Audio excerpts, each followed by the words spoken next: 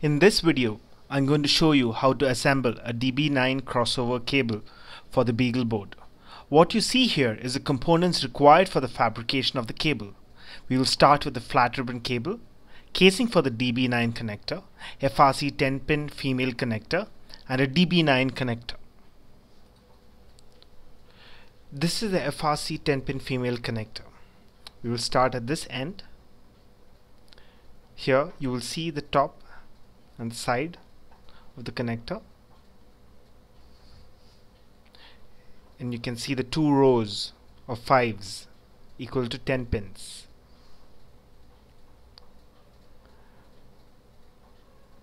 If you look carefully on this side of the pin you can see an arrow. This signifies the pin number 1. As the pin count is from 1 to 10 you'll see that this starts with the first pin. And when you turn it around that's first pin second pin third pin fourth pin fifth pin sixth pin seventh pin eighth pin ninth pin and the tenth pin. Now we'll start with the ribbon cable.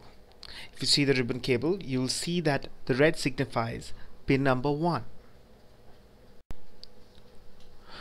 Notice the relation of the arrow marker on the connector and the red stripe on the ribbon cable as I place the cable on the connector. The connector is designed so that the little teeth inside will displace the insulation and make contact with the wire.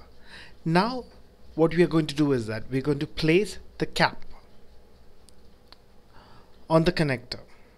This ensures that the wire is squeezed in and the insulation is ripped off. So the inside wire, inside metal of the wire comes in contact with the connector. We are almost at the final stages of our finishing this end of the cable. So still make sure that the red wire is exactly in line the first pin of the connector.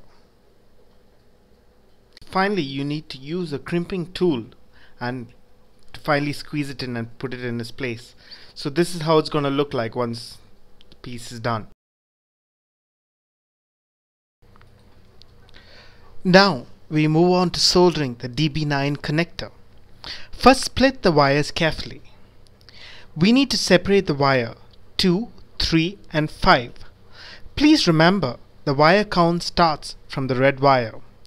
We do not require any other wires so instead of creating confusion, you can just cut off the unnecessary wires with a cutter.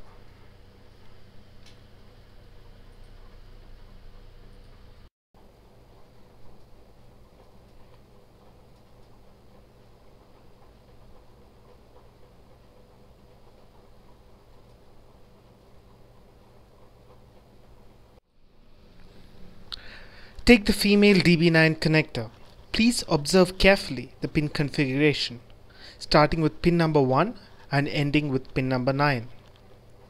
If you look at the picture, you can get a clearer idea. So, when you turn it around, you can see the corresponding pin number 1.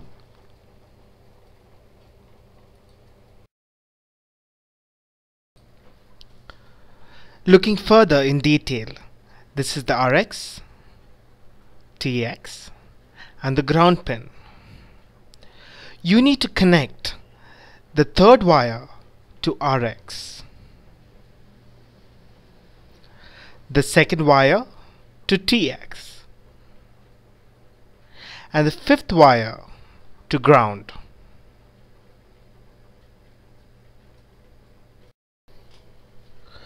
Don't forget to insert the connector casing before you start soldering. Put a tiny amount of lead on the required pins so that it's easier to solder the wire later.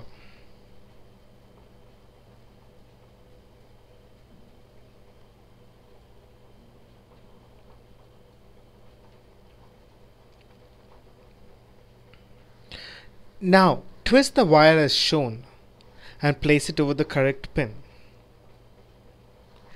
And finally, just solder.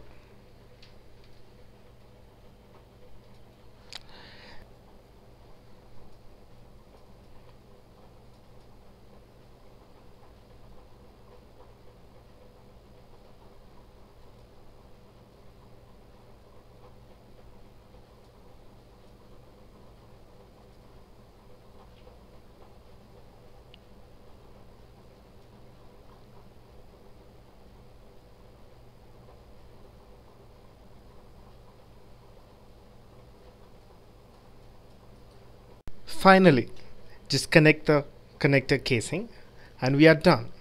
If you have any more questions regarding the crossover cable or its assembly, please feel free to contact tenettech.com and we will be glad to help you out. Thank you for watching this video and have a good day.